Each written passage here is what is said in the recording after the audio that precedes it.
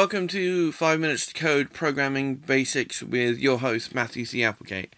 In this series, we are going to look at the fundamentals of computer programming and hardware. So, whether you're hoping to program in Python or to code in C Sharp or to develop in Java, these short guides should help you get to grips with the basics to get started. You won't need to download or install any software, so just sit back and enjoy. In this series, we are going to be looking at input devices output devices, sensors, memory and storage, as well as internet technologies. Today we are going to be looking at internet technologies. So let's look at this in more detail. A lot of what will be covered in this video are definitions. The internet allows a large amount of data to travel all over the world and that information comes in the form of bits. See the binary video for more detail. The rate, bitrate, bits per second, or BPS is now often referred to as megabits per second, or MBPS, because most modern computers can handle a lot of data fast. Communications between computers and devices can be done using two different physical methods. Serial transmission, which uses a single wire to transfer bits of data, or parallel transmission, which uses multiple wires to transfer bits of data. There are benefits and detriments to both. Serial transmission uses one wire, so it's cheaper, but it's also slower as only one bit can be transferred at a time, whereas parallel transmission is considerably faster as it can transfer multiple bits at a time. However, it is of course more expensive and can only be used over short distances, as interference can often affect the signal and corrupt it. While communication takes place, it can be done using three different methods.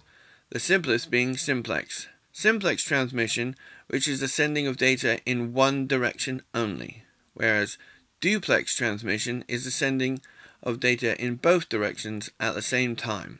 And finally, half duplex transmission is the sending of data in both directions, but only one direction at a time.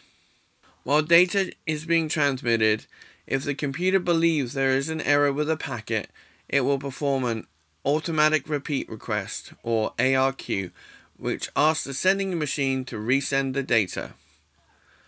Okay, so we have covered things so far occurring during the normal operation of computer system, and when they unintentionally go wrong, let's look at when computers are made to go intentionally wrong. A hacker is someone who tries to gain unauthorized access to a computer or computer network to either retrieve or destroy information. A hacker tends to use a set of tools which help them achieve their goals. One of their tools is malware, which is a piece of software which damages or disrupts a computer. Hackers also deploy viruses, which are software that is designed to corrupt computer files. And finally, spyware, which is another tool used by a hacker that collects users' information through their online activity. It is not all bad though. To protect users, there are tools such as antivirus, which looks at the files to see if they contain code similar to viruses, anti-spyware, which monitors internet connections, and firewalls, which are a piece of software that protects against unauthorized access from another computer or network. It is a cat and mouse game, and the hackers and system admins are constantly trying to outdo each other. At the center of this ongoing battle are the internet service providers, who provide users with access to the internet by physical cabling to home routers and exchanges. Users use internet browsers to access web servers, which share web pages via internet protocols, such as Hypertext Transfer Protocol, or HTTP.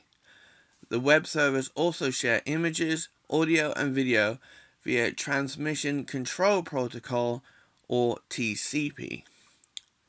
This is just a short guide to internet technologies. Now you have the basics, don't hesitate to dig deeper. You can check out the other programming basics videos here and they will help you get started. I hope you have enjoyed the video. If you have, be sure to subscribe to my channel, like the video and comment below if you found it useful. If you want to get started in programming right away, Be sure to check out my computer art programming tutorials. Until next time, thanks for watching 5 Minutes to Code.